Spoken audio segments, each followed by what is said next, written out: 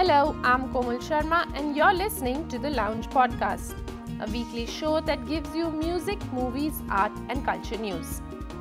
Today's show, however, is about providing basic emergency care for victims of road accidents till the time some professional help arrives. Because those first few minutes can be really crucial to saving someone's life. We'll be talking about the Save Life Foundation that was set up here in Delhi by 32 year old Piyush Tiwari.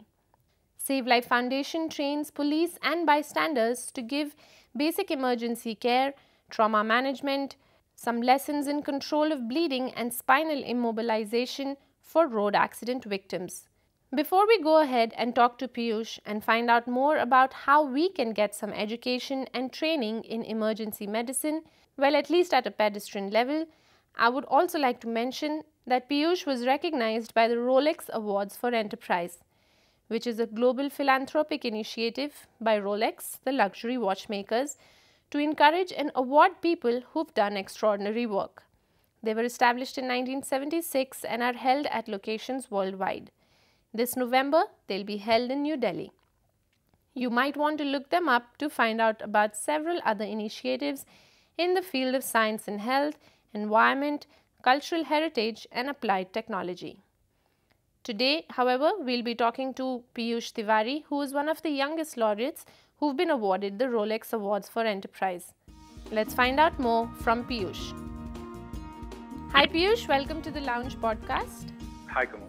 So, before we actually go on to find out how Save Life Foundation works, I believe there's a personal story to how you started the foundation. Could you briefly tell us about that? Sure. Save Life Foundation did come into being after I suffered a personal loss, mm-hmm. but I think it has strengthened over the years because of you know many many more people and institutions that have come along to support this cause. Initially, what pushed me to think about the whole issue of emergency care for road accident victims in India was the accident of my own cousin, who was 16 years old at the time of the accident. And after being hit by a car, he was lying on the road for about 40 minutes with nobody coming forward to help him or no sort of emergency services coming forward to uh, to take care of him, and he passed away as okay. a result of that.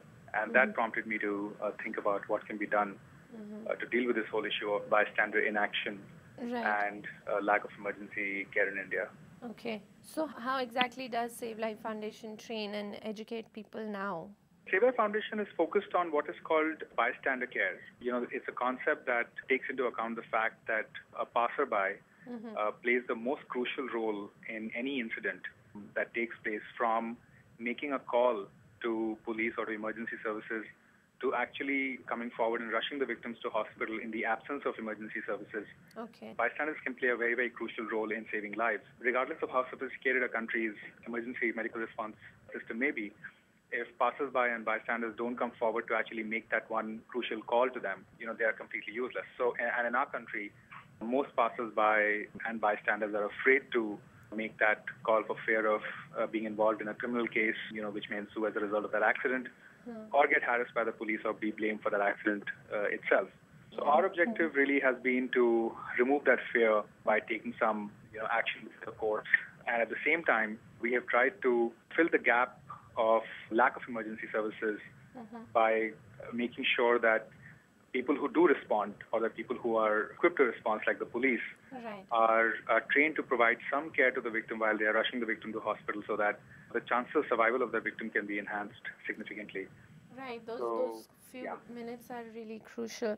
But Piyush, tell me, how do you uh, sort of map, like when you say bystanders, it could be anyone and everyone. So, yeah. who do you teach and who do you train? So at this stage, there are two things we are doing. One is that we are trying to create a supportive legal environment for any bystander to come forward and help. Mm-hmm. We have a PIL which is being heard by the Honorable Supreme Court of India, mm-hmm. and uh, we are expecting a decision on that soon that would hopefully provide a supportive legal environment for anyone to come forward and help. Right. In the meanwhile, what we have done is that in whichever communities we work in, we identify persons from the community who are keen to volunteer with us, who are based in the area, and who are mobile. Okay. And then we train them in what is called basic trauma life support, mm-hmm. which are basic skills uh, to save someone's life just using your hands right. and without any specialized equipment or knowledge. Mm-hmm. And then we, we connect them through our technology system, which we've developed with support from the Rolex Awards and a company called Religare. Mm-hmm. And uh, we use that technology to mobilize, to inform people first about, you know, an incident having taken place in their area. Hmm. And then we, we get them moving to that area and start uh, stabilizing the victim before the arrival of formal services, who also we, our system informs side by side. Okay.